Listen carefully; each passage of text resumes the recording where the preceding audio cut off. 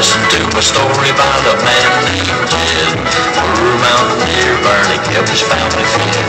Then one day the sheep had some and up through the ground come a bubbling pool. Oh, that is